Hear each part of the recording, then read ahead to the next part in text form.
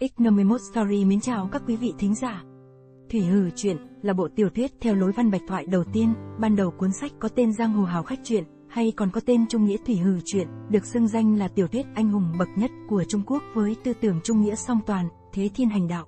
Thủy Hử Truyện là một trong những tác phẩm được liệt vào tứ đại danh tác của nền văn học cổ điển Trung Quốc cùng với Hồng Lâu Mộng, Tam Quốc Diễn Nghĩa, Tây Du Ký, Mỗi tác phẩm trong tứ đại danh tác này đều mang từng nét đặc sắc riêng, có người cho rằng chưa đọc Thủy Hử thì chưa thể biết được những điều đặc sắc trong thiên hạ.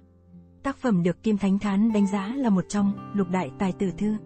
Vào cuối thời nhà Nguyên, Thi Nại Am, tên là Ngạn Đoan, sinh năm 1296 mất năm 1372, dựa vào sách Đại Tống Tuyên Hòa Di Sự và Đông Đô Sự Lược của Vương Xưng thời Nam Tống cùng với các ghi chép lịch sử khác xoay quanh câu chuyện Tống Giang cùng với 36 người khởi nghĩa để tiến hành sáng tác nên Thủy Hử chuyện, miêu tả câu chuyện Tống Giang cầm đầu 108 vị lục lâm hảo hán bị bức bách phải vào rừng làm cướp, tụ nghĩa về lương sơn bạc, sống chết cùng nhau, thay trời hành đạo, về sau được triều đình chiêu an, ra sức đánh đông dẹp bắc, an dân vệ quốc.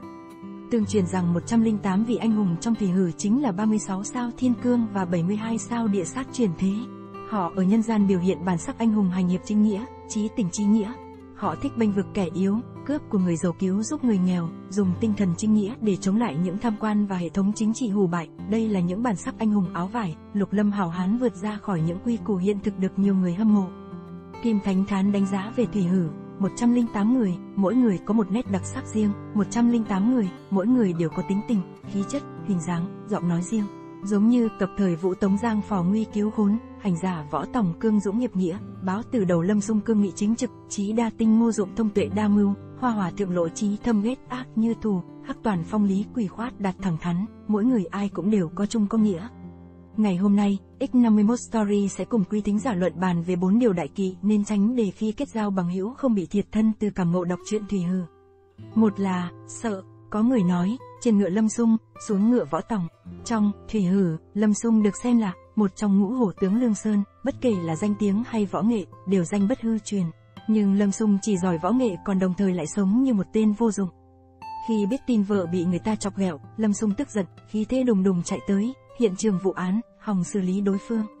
Vốn dĩ muốn cho đối phương một bài học, nhưng khi biết đó là cao nha nội liền thả lòng năm đấm, đến lời mắng chửi cũng không nói được ra, cuối cùng chỉ có thể nhẫn nhịn nuốt cục tức vào trong đưa vợ rời đi. Lâm Dung tuy gan nhỏ sợ việc nhưng bạn tốt là Lỗ Chí Thâm lại là một người không sợ trời không sợ đất. Nghe nói sau khi biết sự việc, Lỗ Chí Thâm đã chạy đi giáo huấn cho Cao Nha nội một bài.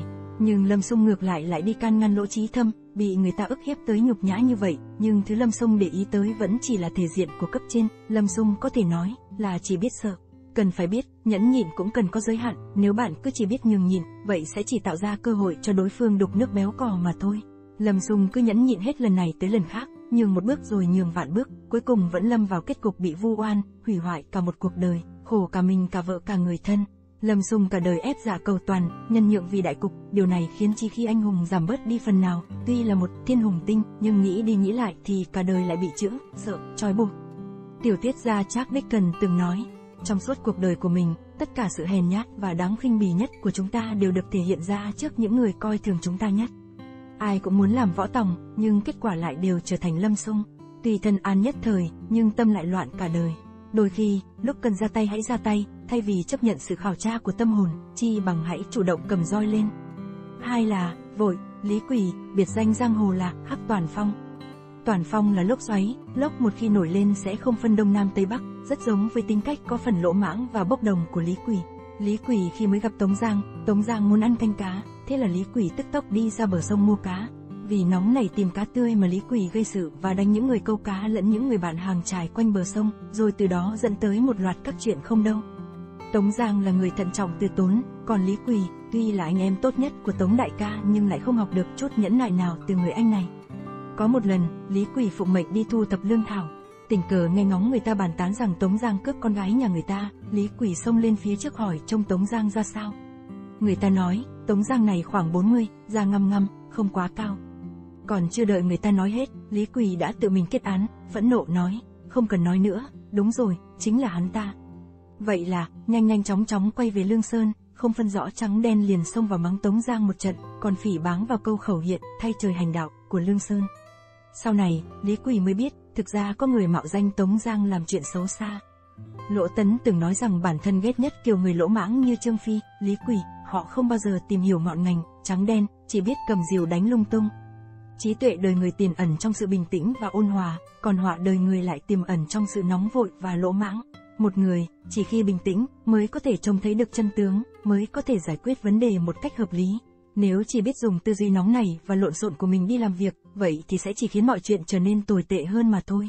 Sống ở đời, suy cho cùng cũng chỉ cần, tâm không bốc đồng, làm việc không nóng vội.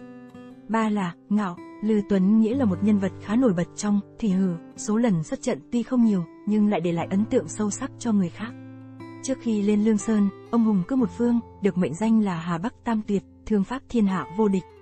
Sau khi lên Lương Sơn, ông bắt sống Sử Văn Cung, ngay lập tức ngồi vào chiếc ghế cao thứ hai của Lương Sơn Bạc. Một Lư Tuấn Nghĩa truyền kỳ như vậy, nhưng trong mắt của Kim Thánh Hán, một nhà văn, nhà phê bình văn học theo lối ấn tượng của Trung Quốc, được người đời sau mệnh danh là vua của thể loại văn bạch thoại Trung Quốc, ông cũng chỉ là một kẻ ngai khí thập túc, nghĩa là vô cùng ngu ngốc. Chồng thì tưởng là nhân vật tầm cỡ, nhưng suy cho cùng thì cũng chẳng anh tài là bao. Kim Thanh Hán sở dĩ không vừa mắt Lưu Tuấn Nghĩa, phần lớn nguyên nhân là bởi Lưu Tuấn Nghĩa là người cao ngạo, vốn dĩ là một đại gia, thương bổng vô song, cuộc sống đầy đủ, vì bị ngô dụng dùng kế, cuối cùng nhà nát cửa tan, rơi vào con đường làm giặc cỏ, Tống Giang vì muốn lừa Lư Tuấn Nghĩa lên Lương Sơn mà có thể nói là đã hao tổn không ít tâm huyết. Tống Giang để Ngô Dụng giả làm thầy bói, tới nhà của Lư Tuấn Nghĩa, nói ông sẽ gặp họa bị giết và bảo lên Thái An, Sơn Đông lánh nạn. Lư Tuấn Nghĩa cho đây là thật, liền ngay lập tức thu dọn đồ đạc rời đi. Muốn đến được Thái An thì sẽ bắt buộc phải đi qua Lương Sơn, thân cận của Lư Tuấn Nghĩa là Yến Thanh cảm thấy chuyện này có phần kỳ lạ, khuyên Lư Tuấn Nghĩa đừng tùy tiện, đề phòng người Lương Sơn chặn đường cướp giật. Nhưng Lư Tuấn Nghĩa trước giờ luôn cho mình là đúng, cao ngạo, nào có để ai vào trong mắt. Những hảo hán lương sơn vang danh thiên hạ, trong mắt ông chẳng qua cũng chỉ là mấy tên giặc cỏ không hơn không kém. Lư Tuấn Nghĩa đem theo quan điểm này mà xuất phát, kết quả bị trúng kế của Lương Sơn, sau đó, có nhà cũng khó về, cuối cùng cũng vẫn chỉ đành nhập hội. Trong cuốn, lệ ký, có viết, quân tử bất tự đại kỳ sự, bất tự thượng kỳ công. Cuộc đời có huy hoàng tới đâu cũng đều sẽ bị sự tự phụ đánh bại, chiến công có chói lòa tới đâu, cũng sẽ bị kiêu ngạo hủy hoại. Làm người, phải lý trí đối mặt với cả yêu và khuyết điểm của mình, đối mặt với khó khăn và chắc trở, không mất đi niềm tin, đối mặt với huy hoàng và thành tựu, cũng không được quên đi mình của những năm tháng vất vả phấn đấu khi xưa. Người phóng túng, không lấy một người thành công, người tự đại ắt sẽ rước họa vào thân, Lư Tuấn Nghĩa chính là ví dụ điển hình cho điều này. 4 là, rào, có người nói, Ngô Dụng chính là, Gia Cát Lượng, của Lương Sơn. Thực ra không phải như vậy, mưu của Ngô Dụng phần lớn đều là mấy vở kịch tồn người lợi ta, còn xa mới tới được với cái danh hiệu trí đa tinh. Ngô Dụng sở dĩ có thể ngồi vào chiếc ghế thứ ba, hoàn toàn không phải vì mưu trí của ông cao cường ra sao, mà chỉ bởi ông là một kẻ chủ nghĩa lợi mình giàu hoạt. Trước khi Tống Giang ngồi vào chiếc ghế đầu tiên, Tiểu Cây mới là lão đại của Lương Sơn, nhưng không lâu sau khi Tống Giang lên Lương Sơn, Ngô Dụng đã quay sang đầu quân cho Tống Giang. Giữa Tiểu Cái và Tống Giang, Ngô Dụng lựa chọn Tống Giang, bởi lẽ Ngô Dụng biết rằng mục đích của Tiểu Cái là quản lý cho tốt cái trại này, còn mục đích của Tống Giang là chiêu an, Tự mình khởi nghiệp mở công ty là rất tốt, nhưng một người xuất thân từ văn nhân như Ngô Dụng lại muốn một doanh nghiệp nhà nước ổn định và có thể diện hơn. Như vậy, Tống Giang hiển nhiên là lựa chọn tốt hơn so với tiểu cái. Khi ai nấy đều có ý tạo phản nhưng lại chưa được Tống Giang cho phép, mọi người đã kéo nhau tới hỏi quân sư Ngô Dụng, thương lượng chuyện lật đổ triều đình. Lúc này, trông thấy quần chúng có phần kích động, Ngô Dụng giảo hoạt nói: "Tự cổ rắn không đầu thì làm sao mà được, Dụng tôi nào dám làm chủ. Chuyện này nhất định phải để ca ca quyết rồi mới tiến hành được." Thời khắc mấu chốt, Ngô Dụng lại lấy Tống Giang ra làm bình phong, vừa giải quyết được vấn đề, vừa không đắc tội với ai, có thể nói, quân sư Ngô Dụng là một người vô cùng giàu hoạt. Sự giàu hoạt đem lại cho Ngô Dụng địa vị và quyền lực, nhưng Ngô Dụng cũng vì vậy mà mất đi cuộc sống của chính mình. Cuộc đời của Ngô Dụng lúc nào cũng chỉ xoay quanh Tống Giang, sau khi Tống Giang trúng độc chết, sinh mệnh của Ngô Dụng cũng mất đi trung tâm. Có lẽ, thắt cổ tự vẫn là cái kết tốt đẹp nhất đối với Ngô Dụng. Một tác giả người Anh từng nói rằng, một người không có nguyên tắc và ý chí, giống như con thuyền không có bánh lái và la bàn, nó sẽ thay đổi phương hướng của mình theo chiều gió. X51 Story luận bàn trong lòng của mỗi người đều sẽ có một cây gậy như ý, nó giúp giữ vững quan điểm và bảo vệ cái tôi của bản thân, đừng bao giờ để cây gậy ấy bị lung lay một cách dễ dàng. Kinh nghiệm của rất nhiều người đi trước đều nói với chúng ta một điều rằng, con người, thắng ở nhân phẩm, thua ở tính toán, là một người tốt, với một trái tim chân thành, luôn lớn hơn bất cứ điều gì. Chúng tôi xin kết thúc bài chia sẻ của mình tại đây. Xin chân thành cảm ơn các bạn đã dành ra thời gian quý giá để lắng nghe bài chia sẻ này. Xin kính chúc quý thính giả cùng gia đình luôn luôn hạnh phúc, thành công và bình an trong cuộc sống.